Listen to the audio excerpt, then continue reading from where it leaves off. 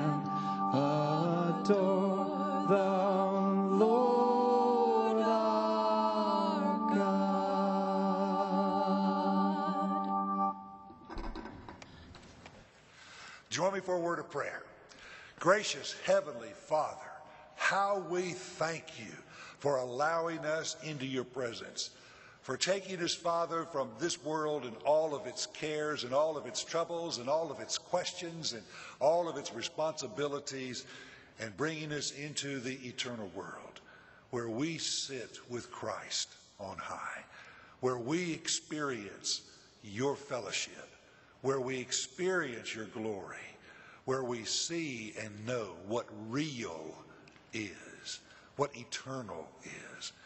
And Father, how we pray that you would teach us day by day, week by week, year by year to enter that eternal place and to draw from it all that we need to do your kingdom's work in this finite place.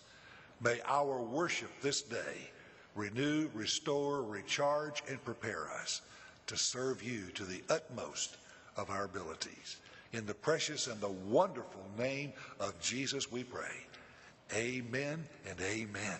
Before you sit down, turn and shake a hand or two and just welcome somebody to this time of worship.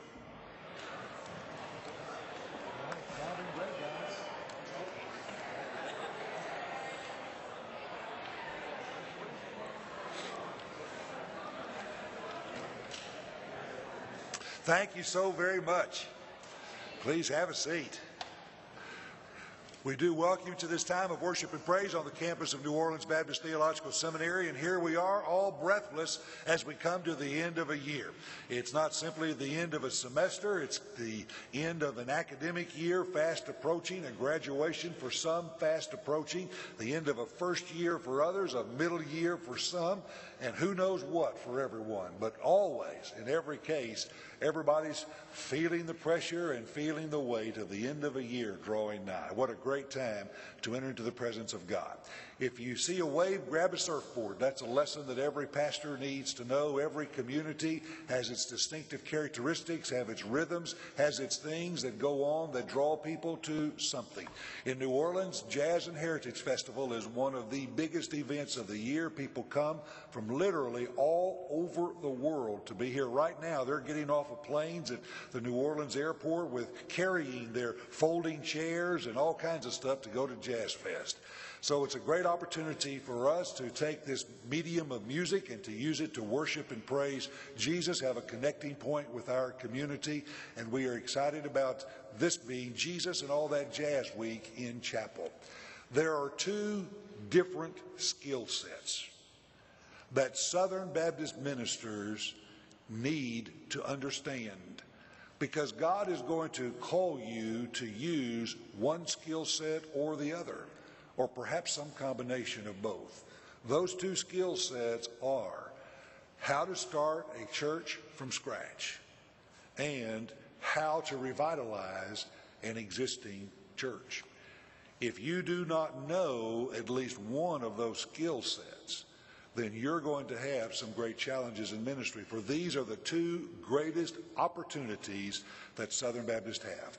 Many, many places that do not have a church and need a church or churches. Often it will require a bivocational skill set to work, earning a living one way and serving Jesus uh, on a weekend through starting a new church in another way. That's not just something for the reaches of the country outside the historic territory of the Southern Baptist Convention. That's in the heart of the Southern Baptist Convention. Places like Mississippi and Alabama uh, and Georgia, almost 50% of their ministers are bivocational ministers in one way or another. And starting a church from scratch is something we need to know how to do but also revitalizing an existing church. We have an enormous Great Commission resource that is sitting on the shelf, and that is church after church after church after church in Southern Baptist life who is looking back on their greatest days. Every record they've ever had, every great accomplishment they've ever had, every moment of terrific excitement, it's all in their past. And they're looking for a way to learn how to grow again. And that skill set for revitalizing churches is one of the most complicated challenges facing Southern Baptists today. So we're adding a course to our curriculum on revitalizing churches to help our students begin to get some handles. And today we're very honored to have with us as our pastor for the day someone who is doing just exactly that. Michael Carney is the pastor of Calvary Baptist Church on the West Bank. And if you have never visited that church, it's a good church for you to visit. Who knows what God might teach you there, might even lead you to be a member there. I always like to ask our local pastors to come and tell us where you are. So come on up here and join me and tell us where in the world is Calvary Baptist Church? Dr. Kelly, thank you. It's an honor to be here today. And Calvary Baptist Church, the way I like to tell people is go to the Superdome and then go across the big bridge, and we're at the bottom of the big bridge right there over the river. And uh, it has been a wonderful journey, quite a challenge, but it is a revitalization story that um, I'm very proud of what the Lord's done there. I, I think it's a great model for all young ministers, older ministers, people looking for hope in churches that have existed for a long time but actually can fulfill their potential for the Great Commission. So I'm very excited about it. So, how many people were there on your first Sunday at Calvary?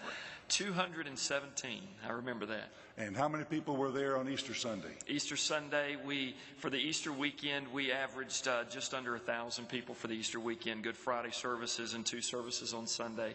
Um, the second service was slammed, so we're looking at now growing into two services. Pretty exciting. To quote an ancient Hebrew expression, wow! That is a wonderful, wonderful story for which we are very grateful. Now, what time are your services? 10:30 right now, and then in the fall we'll hope to launch two. So 10:30 to begin with, and we'd like to pack the place out. So if you're looking for a church home, feel free to come by. Very good. Now, how many years as a senior pastor did you have before you came to Calvary? None. None. All right, students, are you listening? Many of our greatest churches in the convention. Anybody ever heard of First Baptist Church Woodstock with Brother Johnny Hunt? Who ever heard of First Baptist Woodstock before Johnny Hunt went there? Nobody. Franklin Avenue Baptist Church, Pastor Fred Luter, he's about to be overwhelmingly elected as President of Southern Baptist Convention, largest Baptist church in Louisiana. Who ever heard of Franklin Avenue Baptist Church? Before Fred Luter went there with a commission from the association to bury it or resurrect it. There are great opportunities out there. Hmm. And this is a younger pastor who saw not all the terrible stories people tell about going to a traditional church who saw the opportunity for God to do a work. He was serving on the church staff of First Baptist Atlanta with Dr. Charles Stanley. He was serving as student minister uh, in that church, also teaching pastor at another church. Saw what Katrina did to New Orleans, and again saw not the devastation. He saw the opportunity to come and do something fresh and new for the Lord. And God is blessing. Who knows what God will do with your life if you just see not trouble, but you see an opportunity. Thank you so much for being with us, Brother Michael. We'll look forward to hearing a word from you in just a bit. His wife, Melissa, is here, right over here. Melissa, welcome. Thank you so much for being a part of our worship service today. And now let's turn our hearts towards worship. Let's stand together again, and we're going to sing Crown Him with Many Crowns.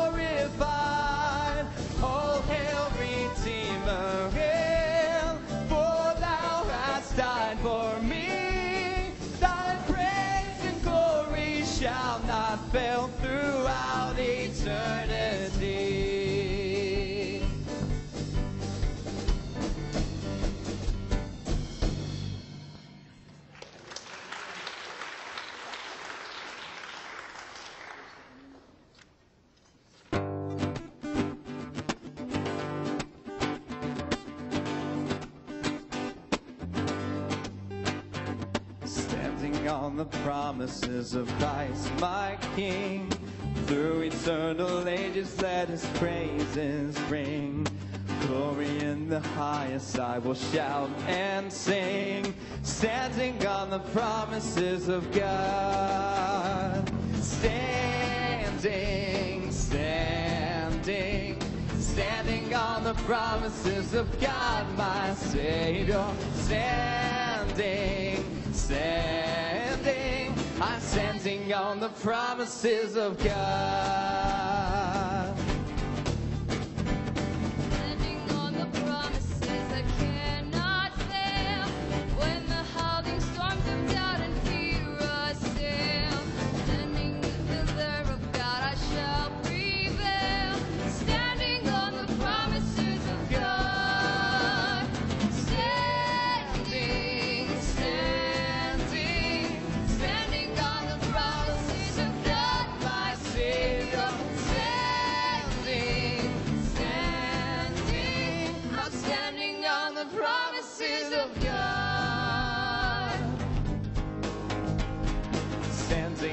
The promises I cannot fall. Listening every moment to the Spirit's call. Resting in my Savior as my all in all. Standing on the promises of God. Ooh, standing, standing, standing on the promises of God, my Savior. Standing, standing, I'm standing on the promises of God. Standing, standing, standing, standing on the promises of God, my Savior. Standing, standing, I'm standing on the promises of God. I'm standing on the promises of God. I'm standing on the promises of God.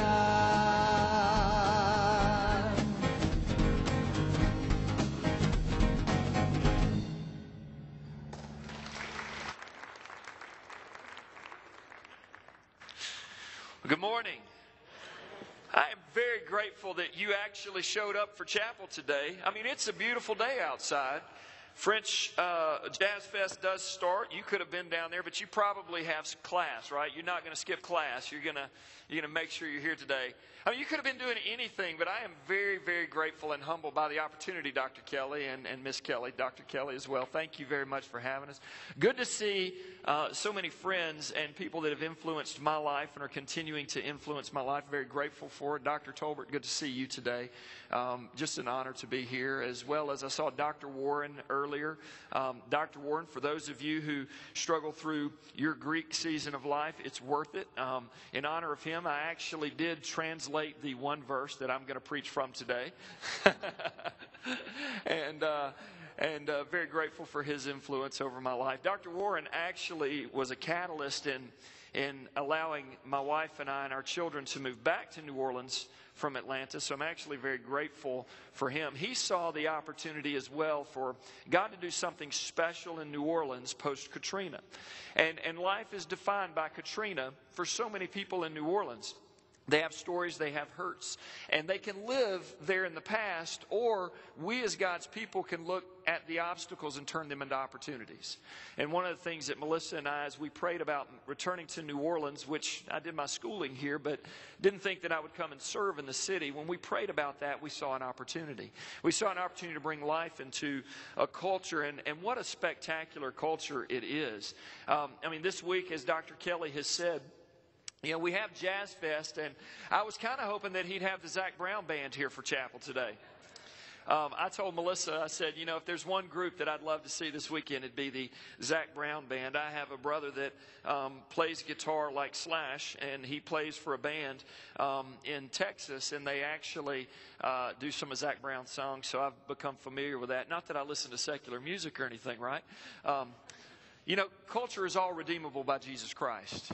Culture is all redeemable by Jesus Christ, and we are in a city that is rich in culture and rich in opportunity. You are not here by accident. Let me say that again. You are not here by accident. Whether you're a professor investing in the lives of the future generation of leaders, ministry leaders in America, or as a student, whether young or older, you didn't come to New Orleans by accident. God is not a God of accidents. He didn't create you by accident. He didn't place you by accident. He didn't gift you by accident. And you're here in New Orleans for a reason. You know, NAMB has labeled New Orleans a strategic focus city. They're a little bit behind the curve on that. I mean, we all knew that it was a strategic focus city, right? Before they ever put a label on it. I mean, it truly is. Our culture is rich. The people are wonderful. The food is fantastic. Can I get an amen on that?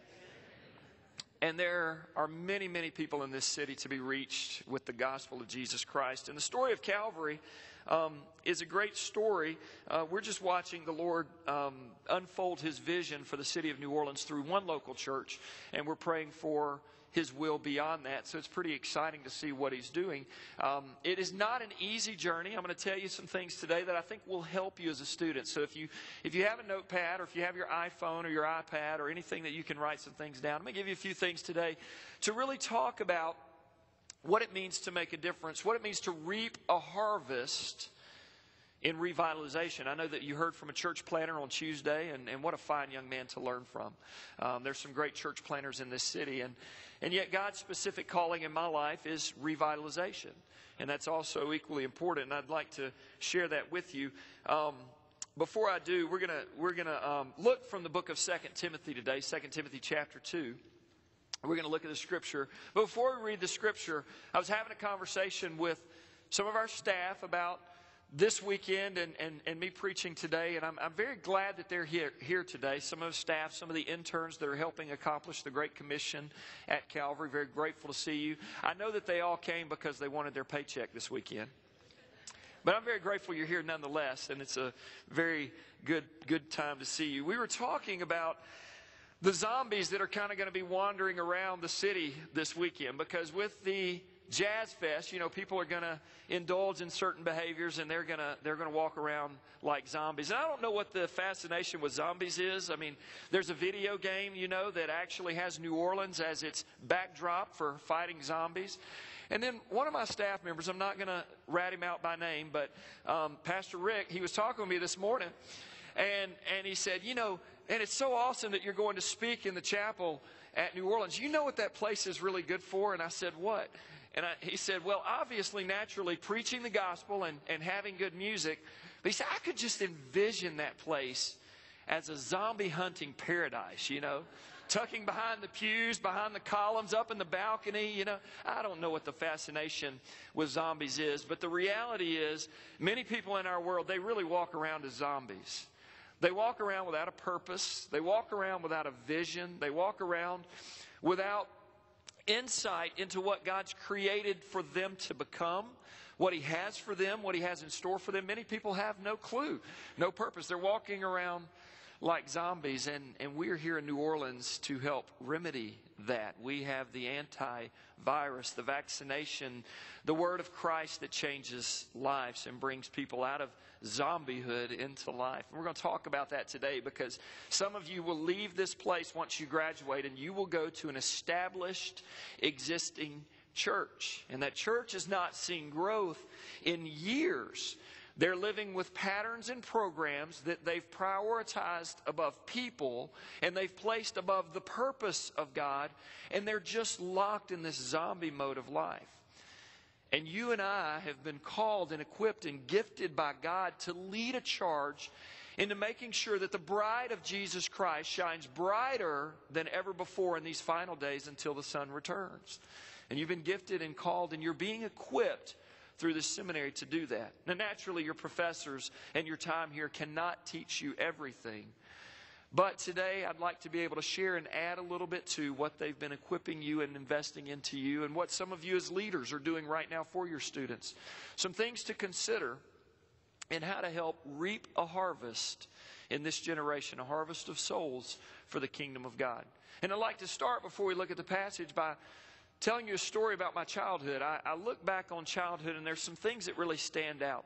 I can remember as a child, my grandparents, my father's parents, grew up in Alabama, in rural Alabama, in, a, in the middle of nowhere, in a little town called Toxey. I mean, you can't even find it on a map. They literally were the town that had one stoplight, and it wasn't a red, yellow, green stoplight, it was a flashing yellow stoplight.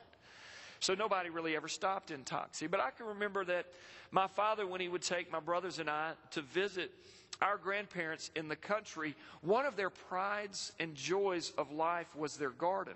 Now, I'm not talking about a small garden like in the backyard, a couple of little tomato plants. My grandfather had a three acre garden. A three acre garden. That is like three times this chapel that we're in today. And in that garden, he would plant in the red clay soil of that part of Alabama, not necessarily fertile soil, mind you, not the best rich soil of the river bottoms where the nutrients fertilize the soil naturally, not in that area, but in this red clay soil of Alabama, in Toxey, Alabama, my grandfather would plant this garden. And this garden would bear a tremendous amount of fruit. I can remember I grew to love okra. I don't know why some people have this thing against okra. It's wonderful, especially if my grandmother cooked it for you. You would love it, you know, with all the lard and the Crisco and the, the ham hocks and all that stuff that's really healthy for you today. My grandmother would cook those things, those vegetables from her garden. But I can remember the plant that fascinated me the most in my grandfather's garden was the corn. Because the corn would start as this small little plant, but then by the end of the growing season, the corn was this towering plant above everything else in the garden. And there was a process that I didn't understand as a child that my grandfather went through to make sure that his corn would actually bear fruit. Very interesting process. Well, I didn't understand that until I became a teenager, and my dad thought it was a good idea that he plant a garden and that I learn how to plant a garden. Now, I realize that we are, you know, we are metro kind of people, urban people, and so we have no space in our concrete or in our dorm rooms or anything to plant a garden. But there's some lessons about farming that are very important because as my father began to teach me when he planted a garden, there are times when you have to get it done and there's no excuse. And I can remember the corn. For some reason, I can remember the planting of the corn.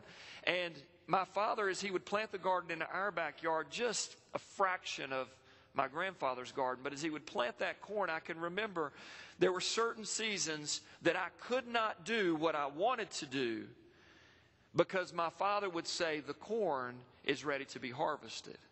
And I remember I loved to play ba- basketball in high school. Homework, that was not important. Basketball was. It was my American idol. It was the thing that I loved to do. And so I pursued, you know, basketball. But there was this season of life in the late spring when school's getting ready to get out, about this season of time, where I would want to do anything but work in the garden. I'd want to do anything but pull weeds.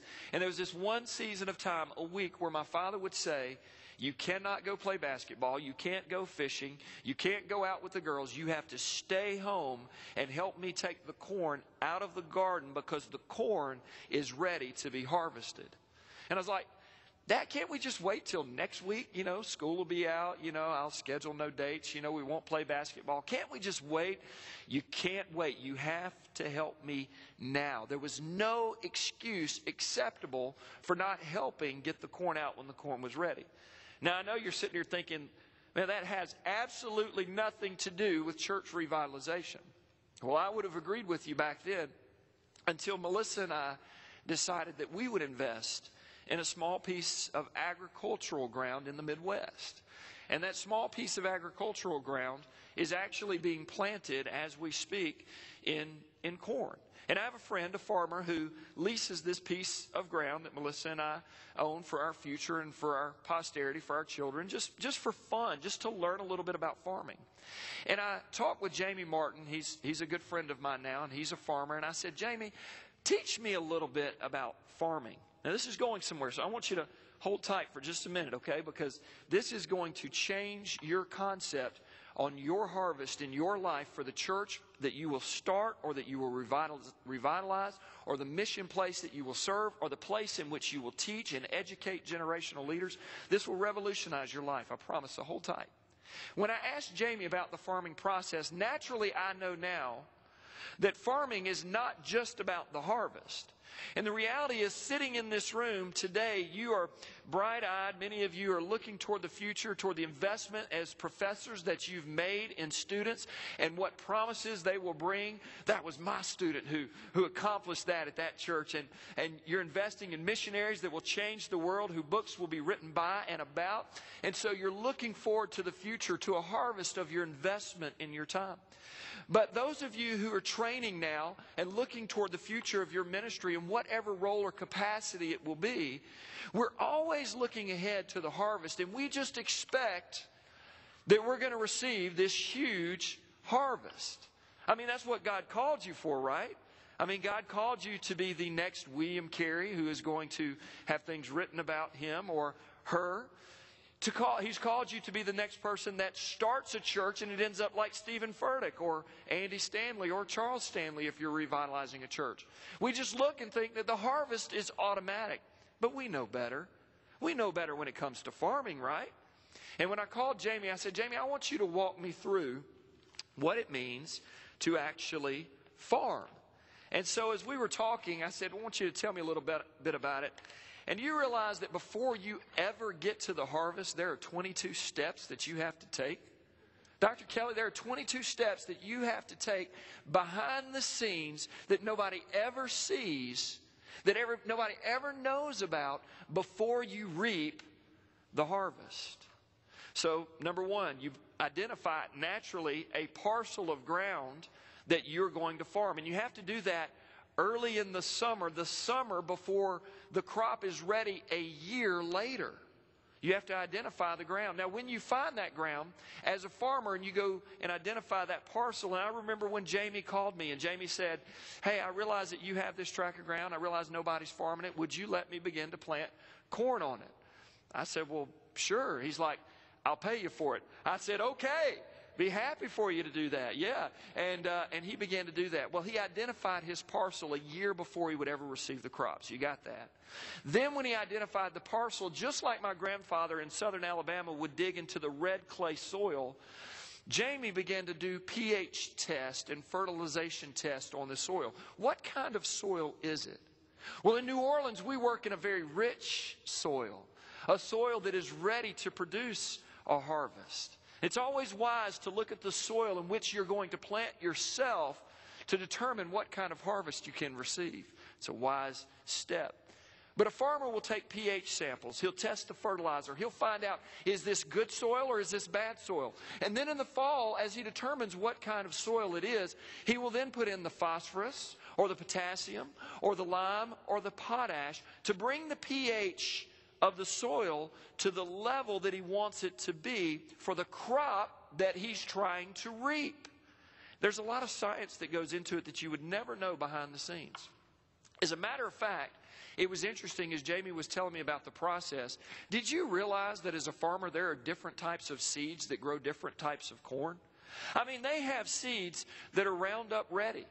Now, what does Roundup Ready mean? It means that when the crop begins to sprout and the green comes up, guess what comes up? And the Bible talks about this a lot. Guess what comes up with the good harvest? Weeds. But if your seed was so engineered in such a way that it is Roundup resistant, then you can literally take these big booms across the field, and when the, the sprouts begin to come up of the crop, you can spray Roundup, which is a weed killer. Go buy it at Lowe's, try it on your flowers, see what happens. And you spray it across the field, and it kills everything but the crop. He actually was telling me that there's a seed that when he determines the soil and he's ready to plant, there's a seed that has a tri level of protection in it. In other words, it protects against three different types of insects. And so already these plants have been bioengineered to resist certain types of chemicals, certain types of insects, blight, different destructive forces. Jamie says you do all of that in the fall before you ever plant the crop. And then once you've got the soil ready, you go on and till the ground in the fall because you allow the nutrients and all the stuff to go on and biodegrade into the soil to put nutrients into the soil. It's a fascinating process. And you can all wake up right now because I'm almost done telling you this story. Then comes the spring. And in the spring, he will plant 35,000 seeds per acre. 35,000 seeds per acre. One little seed, 35,000 of them per acre, and he'll drill them in the ground in rows, a certain amount of part because a certain amount of apart because the plants need X amount of space to grow and produce. And so he has to do it just right. There's a science to it. And then as a farmer, he will go back once or twice a week and he'll check it every day and those all day long in that he'll look for weeds he'll look for the plants he'll look for this he'll find out what he needs to spray to get it going and get it up to an established point and all of that happens through the entire summer, and then comes the harvest. And at the harvest time, everybody in the family gets involved in the harvest.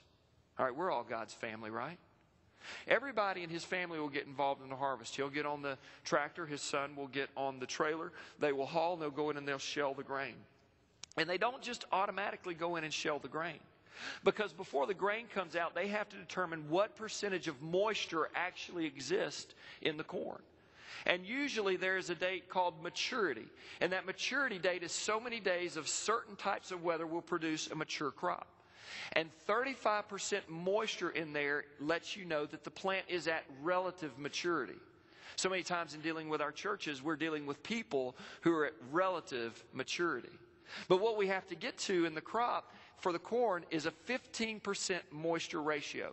More than 15%, and when you go to store the grain of the corn, it will spoil in the bin.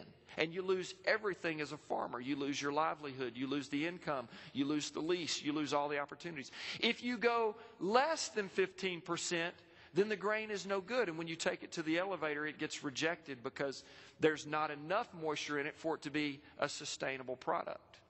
But ultimately, when he gets it down to that point, after so many days of certain kinds of weather and monitoring, he harvests it. And when the harvest comes, when the harvest comes, you can't stop. You get up at daylight, you get the equipment, you get the family, and you go. And you come back home, and he says sometimes 1 a.m. I mean, you're talking fanatic here. But what, what a great lesson for ministers. What a great lesson for us to learn from. And the Apostle Paul says in 2 Timothy, very simply, to his young protege, his young student, his young pastor, as he's passing on to the next generation leadership that will impact the church of Jesus Christ. He says to him in 2 Timothy chapter 2 verse 6, "The hard-working farmer ought to be the first to receive his share of the crops." The hard-working farmer must be the first to receive his share of the crops. Now, I want to submit to you today that there are certain characteristics that we need to sow in our lives if we're going to make a difference as church planters, if we're going to make a difference in revitalizing churches, if we're going to make a difference on the mission field, if we're going to make a difference as a support member to a team that is accomplishing the Great Commission. We have to sow certain character traits. And those character traits happen way before the harvest. So many times in our lifespan, we look at a harvest. We look at someone like an Andy Stanley, like a Mark Driscoll. We look at a Steven Furtick in this generation, some of those young leaders, and we look and we hear the story about how they have these great churches in these areas that were unchurched, and we go, wow, I want to do that. I want to be like that. I want to be a part of that. God, you've called me to that. We hear stories of missionaries around the world, and we go, I want to be just like them. They've made a difference in feeding hungry children and leading them to Christ and starting orphanages. And that is our desire, that is our heart, because we want to be a part of the harvest. That's what God's called us to. But before the harvest comes, you got to farm. Before you can reach a harvest, you've got to sow in certain character traits and principles to allow you to reap the crop. And the crop naturally is souls and the lives of men and women, boys and girls. But there are some things that I would say that we can learn from the hardworking farmer as the Apostle Paul relates this to Timothy.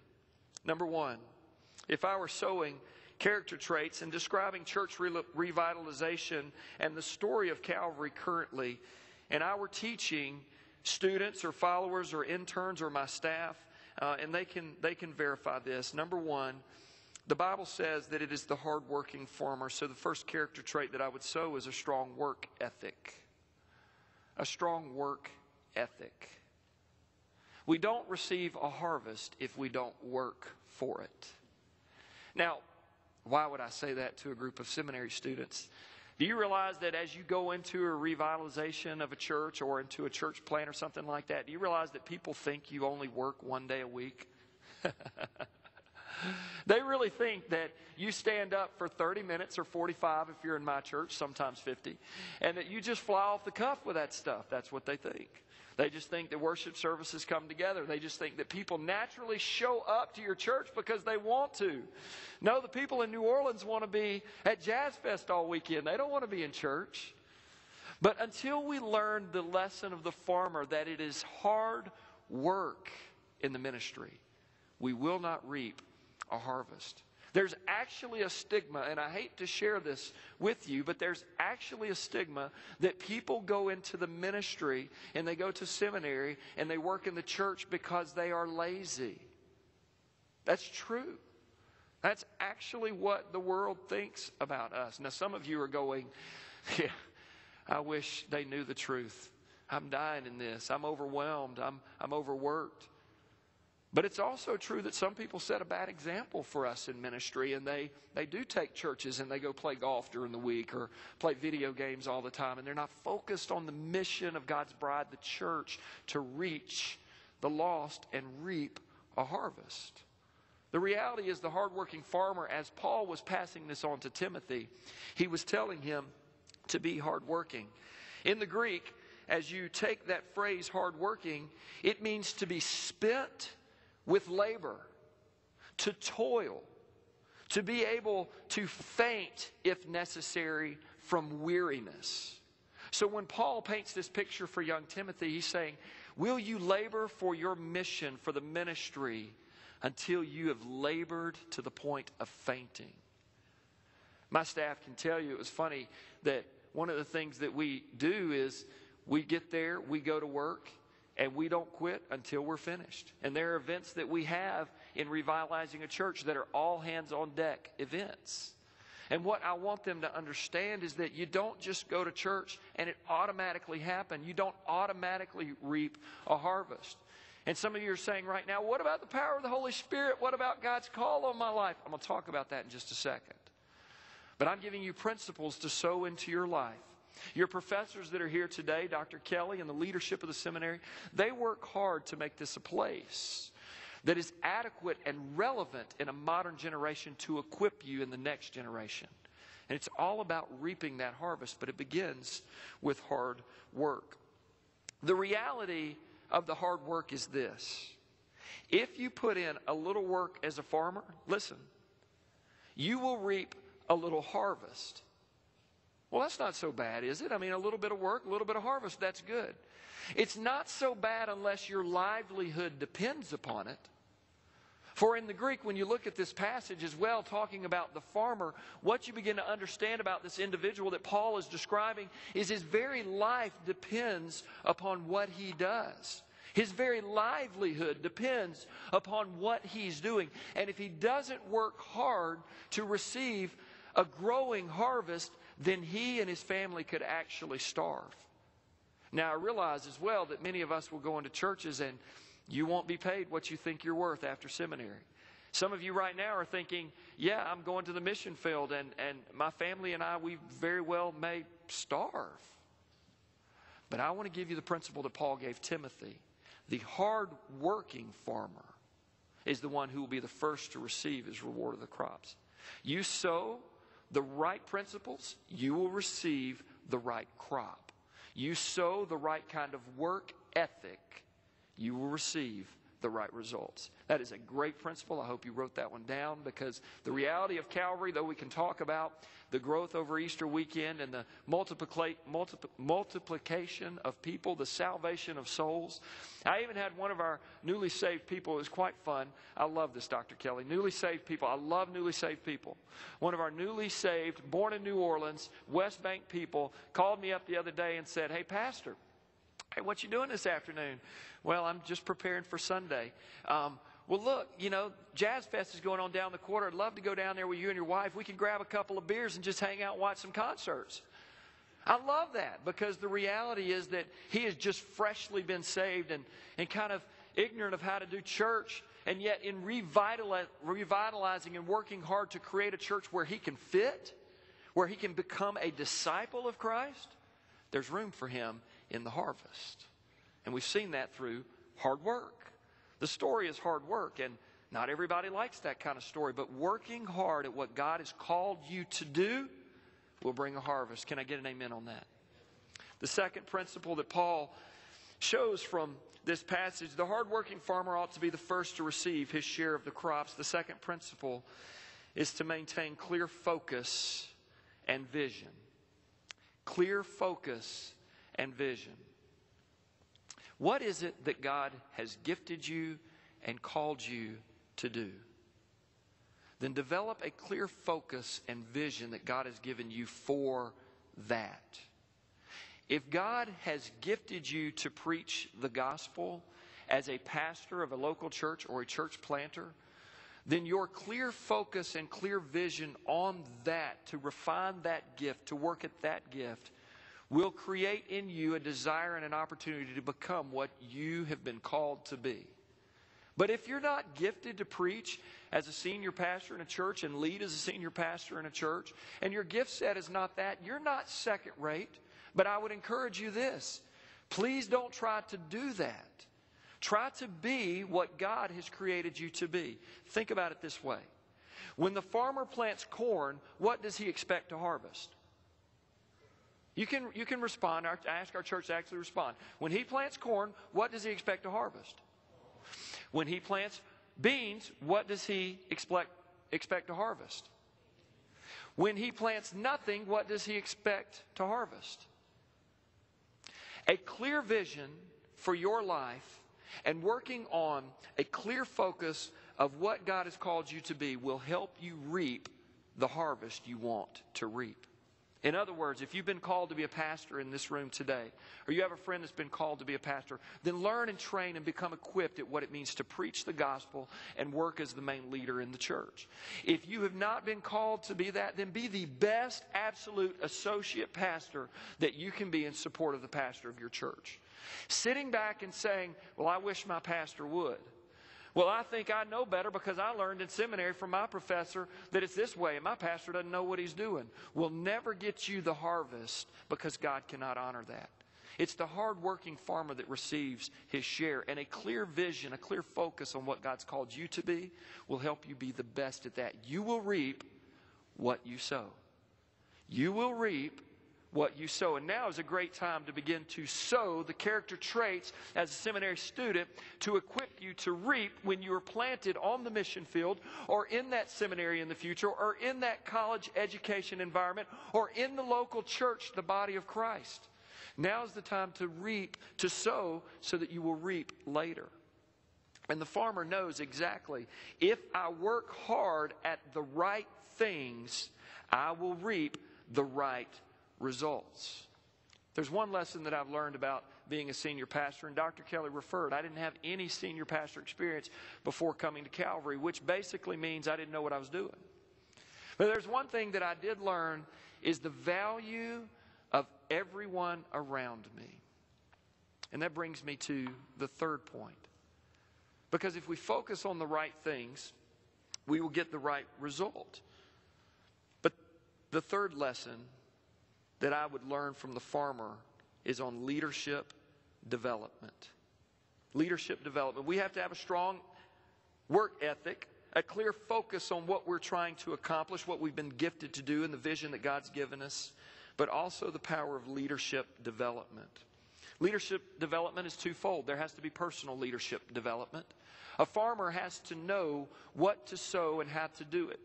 Jamie told me in farming that what he does is actually at the end of the harvest, once he's received the, the count, he knows exactly how many of the 35,000 seeds, talk about tedious, how many of the 35,000 seeds did not survive.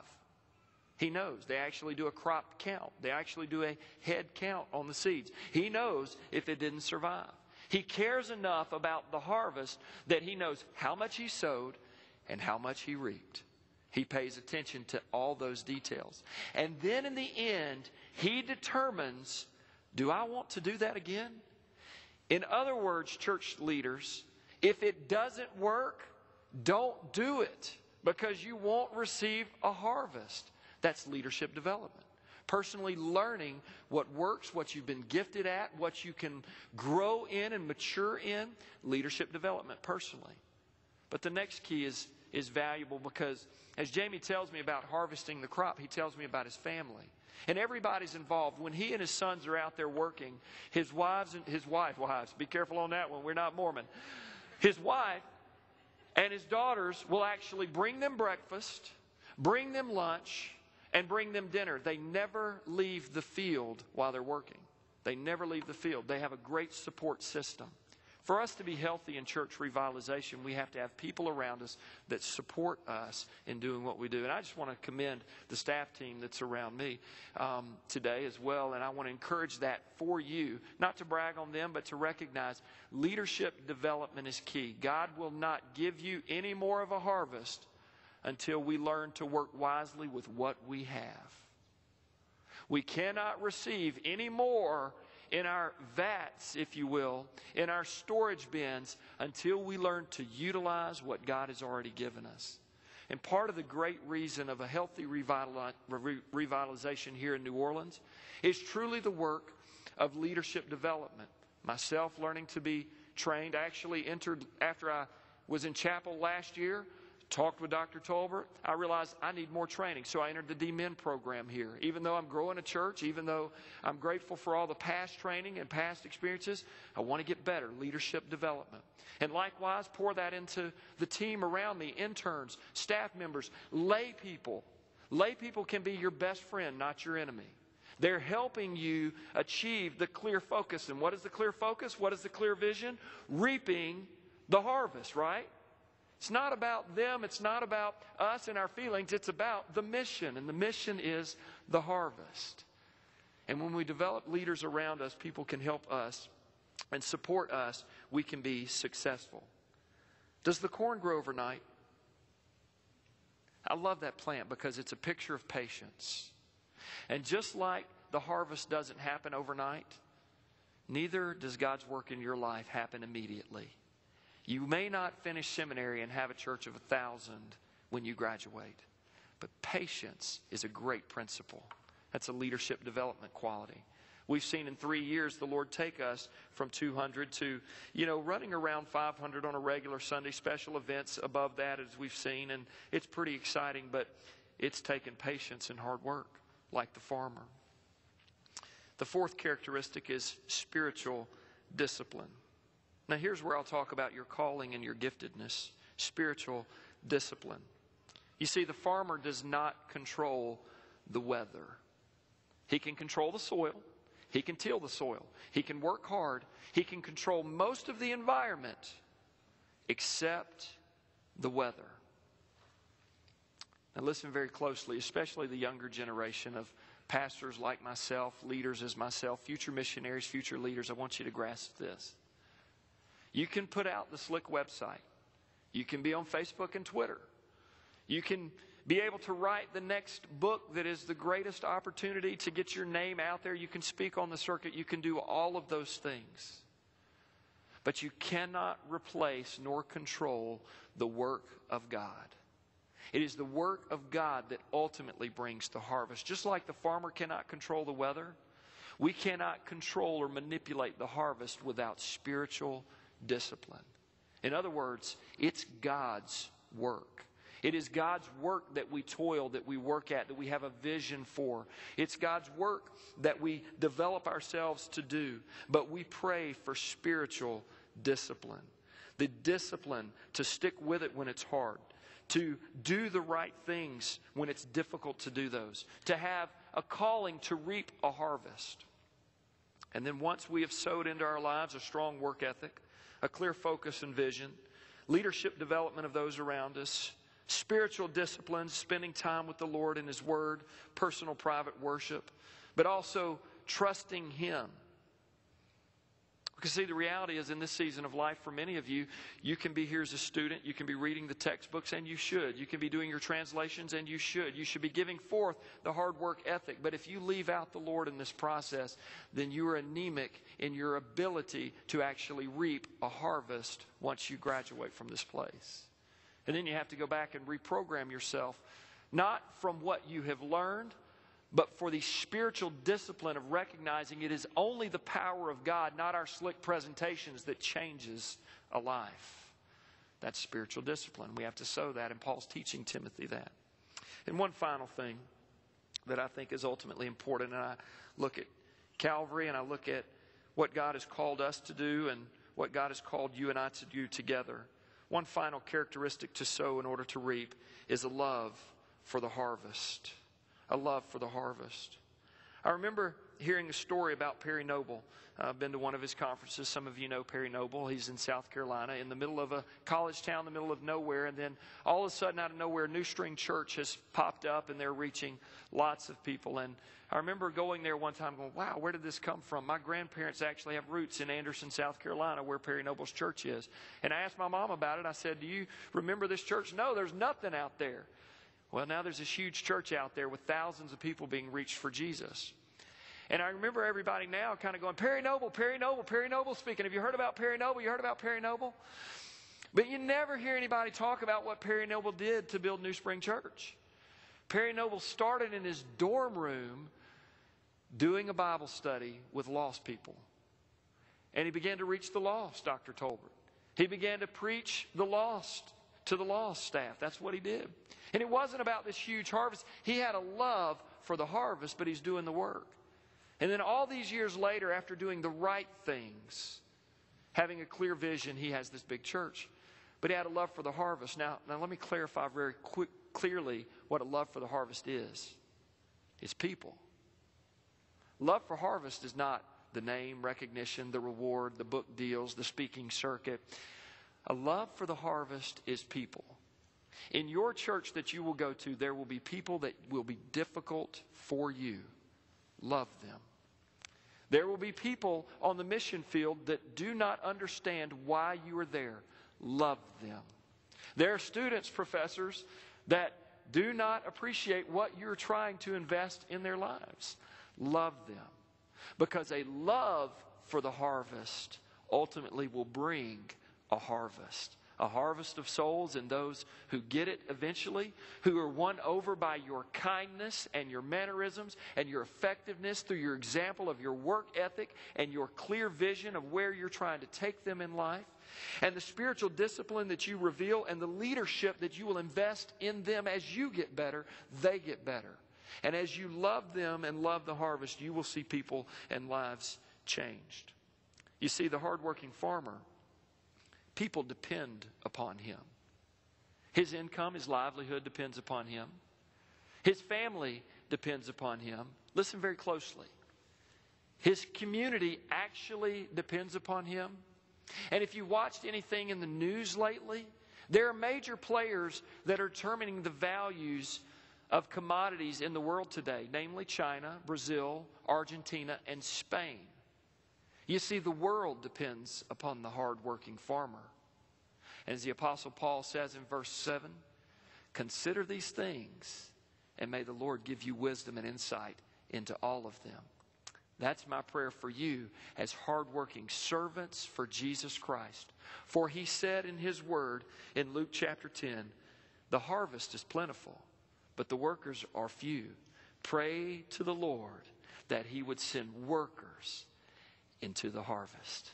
God bless you. Thank you very much. Let's stand for a closing word of prayer. Tonight at 7 o'clock in this building, we'll be having a special presentation from our music uh, students on the story of worship. Dear gracious Heavenly Father, thank you so very much for what you have given us when you called us an opportunity to see you do something great, an opportunity to find out what is in us as we pour out our lives. Give us the courage, the discipline to be everything we can be in your hands, that hard-working farmer who sees the fruit of the harvest. In Jesus' name we pray. Amen.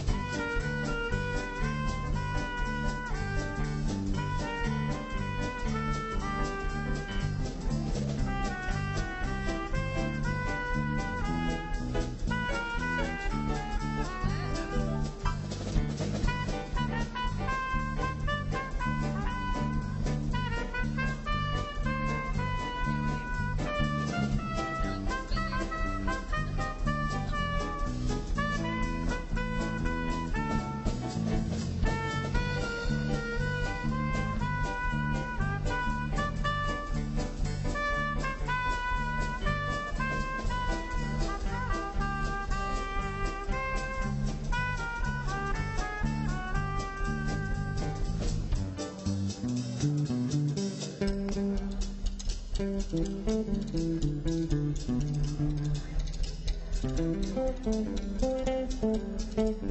you.